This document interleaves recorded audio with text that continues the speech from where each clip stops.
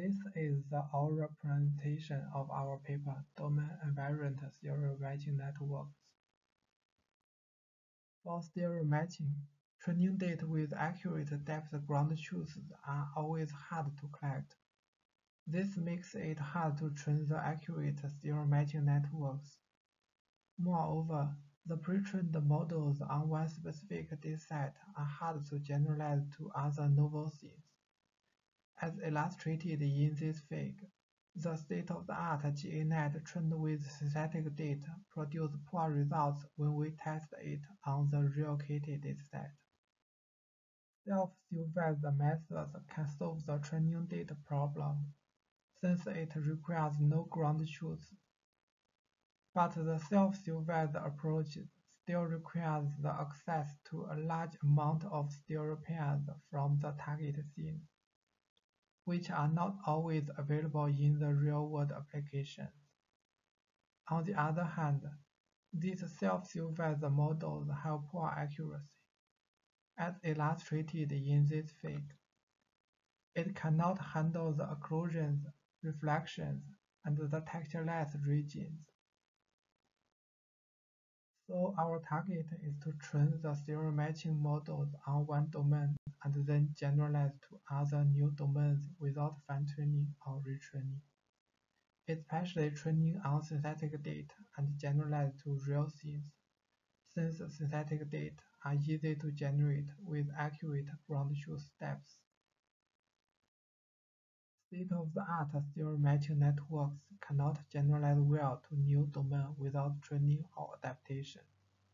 This is caused by the significant domain difference including the image level style or color difference, the local variations and contrasts, the local texture, details, noise conditions, and finally the other complicated domain differences.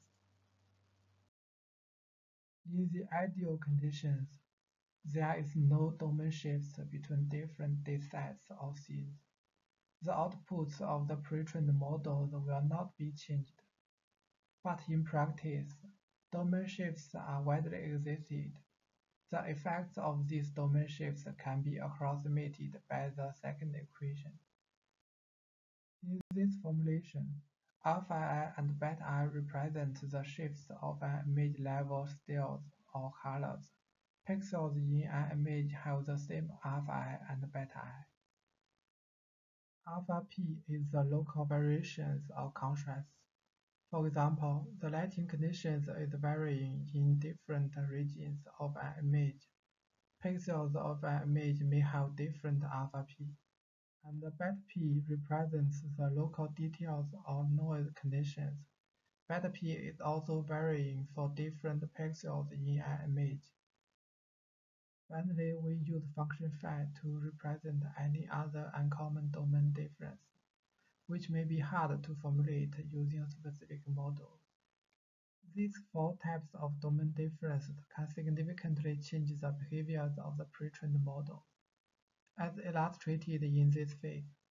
When we train the model on the synthetic SceneFlow dataset and tested it on the real KITTI dataset, the learned feature will have many noise and artifacts. These are caused by the domain difference between the synthetic data and the real data.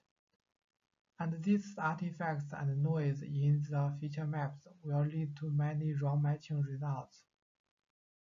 To address the challenges of the domain shifts, we develop our domain invariant stereo matching networks which includes the end-to-end learnable domain normalization layer that can normalize at both image level and pixel level, and the non-local graph-based filtering layer that can capture non-local structure and shape as matching features.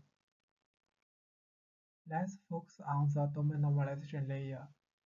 The widely used batch normalization cannot handle the image level domain variations. Instance normalization can remove the image level style difference, but it cannot handle the domain-sensitive local variations and contrasts.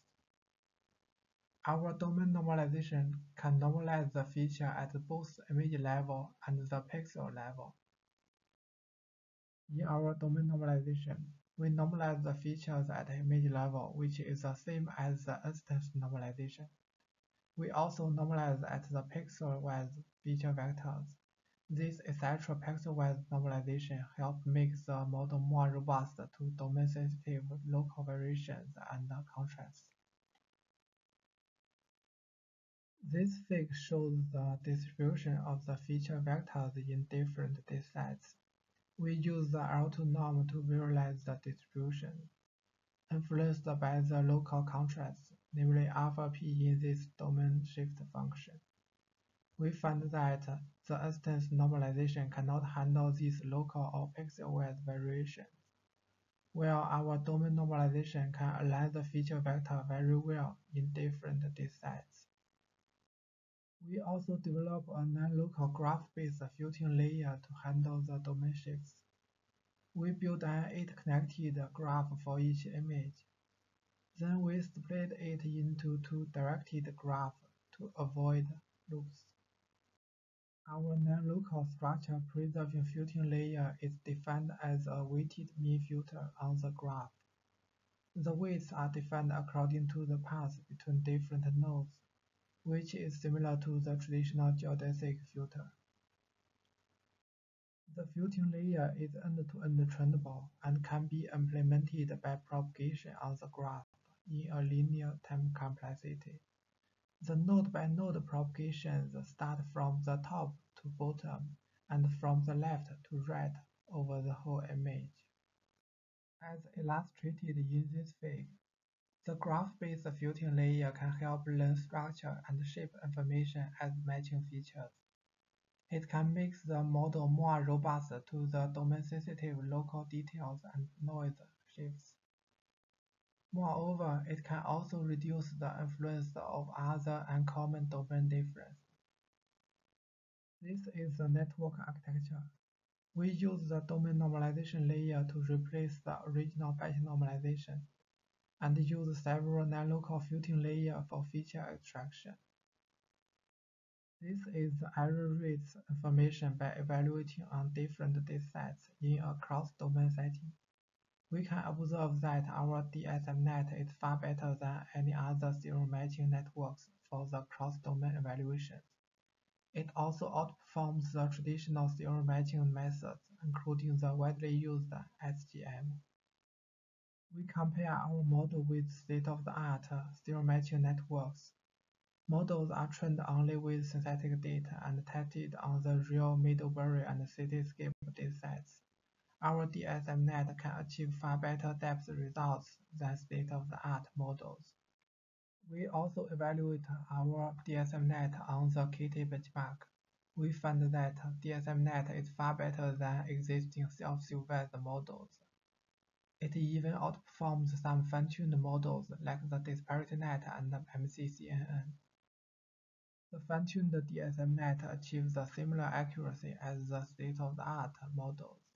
It doesn't sacrifice the accuracy to improve the generalization abilities. Compared with the models trained on the real dataset, our DSMNet trained with synthetic data can produce more accurate object boundaries. This is because synthetic data have more accurate depth labels. This is a simple video demo captured using the Cityscape dataset. The Cityscape dataset doesn't have depth labels for training, so models are trained only with synthetic data. We compare our DSMNet with the popular traditional semi-global matching and the state-of-the-art GANet. DSMNet is far better than them in the real driving scene test. It can produce accurate depth results in the object boundaries, occlusions, and the large road areas.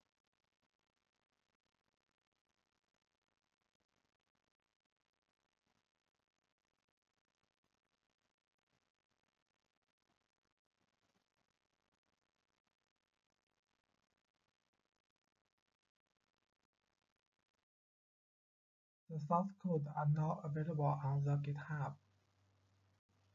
Thanks for your attention.